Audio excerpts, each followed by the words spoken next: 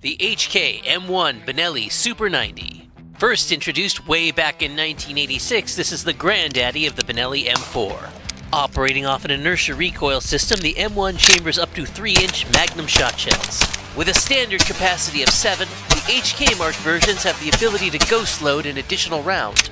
To ghost load a round, simply send the bolt forward, load up, partially pull the bolt back while sliding a shell under it, throw one in the chamber, and now you're loaded to 9. That's 7 in the tube, 1 in the chamber, and 1 under the bolt. You never know when you're going to need that extra shot.